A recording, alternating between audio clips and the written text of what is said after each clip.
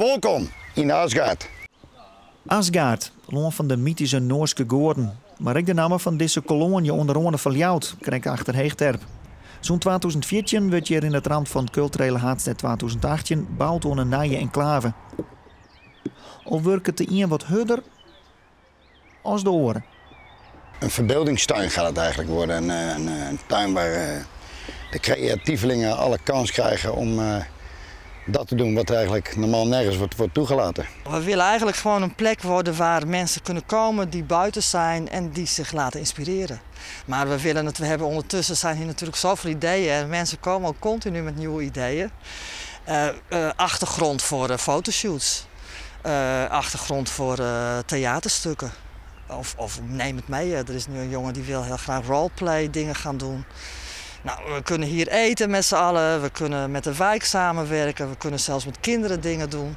Dus de sky is the limit, zeg ik altijd maar. Alles is mogelijk. Een tal van die initiatieven had al vorm kregen. Liekers de Viking, een houten hoes maar horeca gelegen niet. De Draak en de Elfentuin. Het wordt een handwerkhut.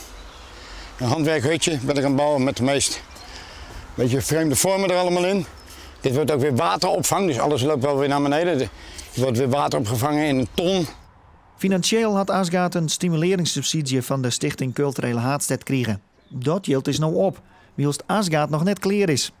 Toch maakt je de belutsenen haar geen zwaar genoeg. Nou, we zijn heel veel op zoek naar sponsors. Dus uh, bedrijven die materialen over hebben, daar kunnen we mee bouwen. Dus dat zou dan in feite niks kosten.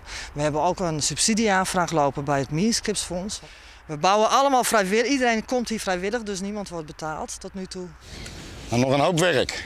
En daar zoeken we bouwers, goede bouwers, vreemde bouwers. Dat soort mensen. Maar ja, elke morgen word je hier weer wakker met een idee van. Uh... Weet je wel, daar gaat het om.